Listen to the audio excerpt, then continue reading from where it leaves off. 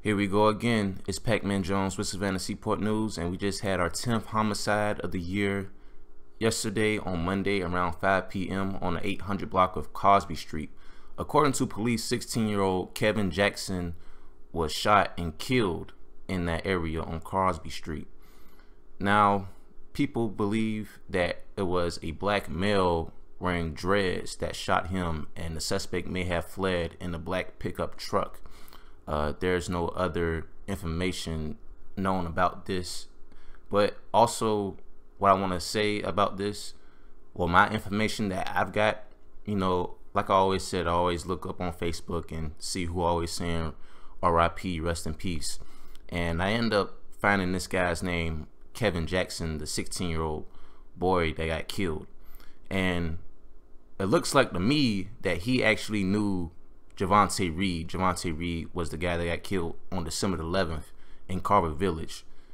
Uh, Kevin Jackson, uh, Crosby Street is in Carver Village, just in case if you didn't know. Actually, the 16 year old that got killed yesterday actually got killed a block away from where Javante Reed got killed from. So, call it a coincidence.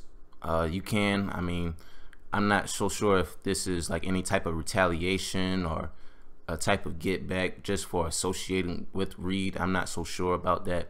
Uh, you know, when I talked about the homicide about Reed, you know that I talked about the, the GDs that killed Javante Reed. I believe the GD that killed him was Craig Weston. So could it possibly be another GD that killed this 16 year old man? I'm not so sure. I was really looking up the 16 year old's Facebook page and see if I could find like any information whether if he was in a gang or or not. And I was looking at pictures and I don't know if he was like really directly in a gang but it looked like he was throwing up the west side a lot. And you know I, am just not, I'm not so sure. I don't want to speculate too heavy on that because I was doing a lot of research yesterday and I really couldn't find the answers that I wanted. But looking at the pictures I mean, it looked like he was with some business that was probably that he shouldn't have been involved in. You know, and I'm not going to speak too much about that, but hell, you can just look at it from your own eyes and from your own point of view. But, you know, this is the 10th homicide of the year, but shootings have been cracking a lot lately. This is what the sixth shooting, or there has been six shootings within the past two days. You know, you know the one that I talked about yesterday, the East 34th Street shooting that took the life of Chandra Thomas. Uh, there was another one that I talked about briefly in my last video uh, that I talked about the 41 year old that shot a four year old in the hand. There was another shooting on Sunday on Congress Street at 2:15 in the morning where they found a victim from non-life threatening injuries and shootings that happened from yesterday was a shooting that happened around 9 p.m. in the area of Bay and Graham Streets, where two people were found shot while in a car. Uh, their injuries were still unknown. They're still unknown at this time. And also, there was another shooting that took place on the Lessups around that quick stop convenience store where somebody ran inside the convenience store asking for help because they was shot. They wasn't shot inside the store, but they ran inside the store to ask for help. And just to double back on the 10th homicide of the man by the name of Kevin Jackson, uh, he was the second juvenile to be shot and killed in Savannah this year. The first one was the guy that went to Savannah High School by the name of Tristan Gray. This 10th homicide, the victim, he actually went to Groves High School. Groves High School is in Garden City.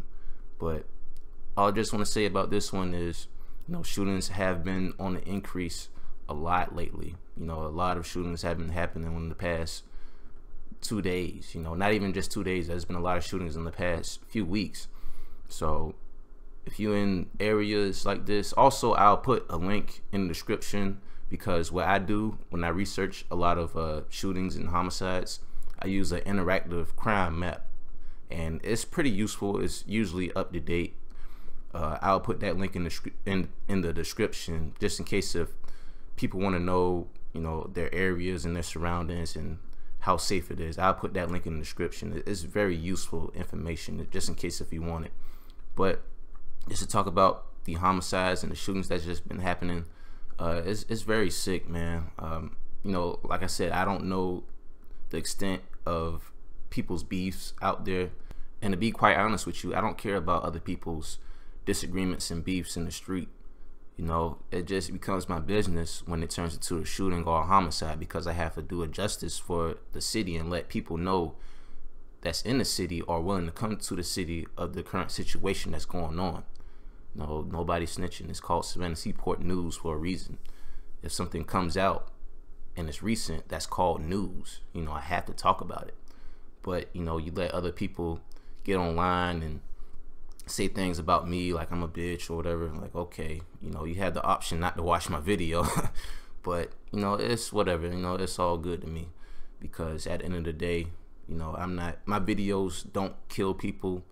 Uh, I don't. I never killed anybody, but you know, people out here are willing are really out here saying, you know, free murderers. You know, free the guy that just shot somebody face off.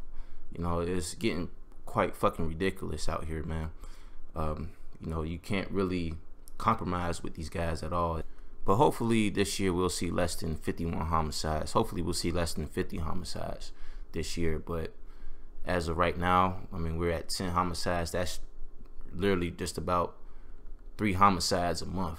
So uh, we might go over it, we might go under it. But I just really hope that no more killings happen, even though it's March and you can kind of expect more shootings and and murders will happen. Unfortunately, I hate to say it that way, but it's just something to think about. You know, you got to really think about where you're at, your surroundings, your people, your affiliations, people who you affiliate with, things that you've done to people. Like, you don't want to be out here and somebody has it out for you. You know, like I said in, in another video, there's a nine times out of ten chance that the shooter knew the victim in every situation every situation. But that's all for right now. It's Pac Man Jones with Savannah C-Port News, and I'm out.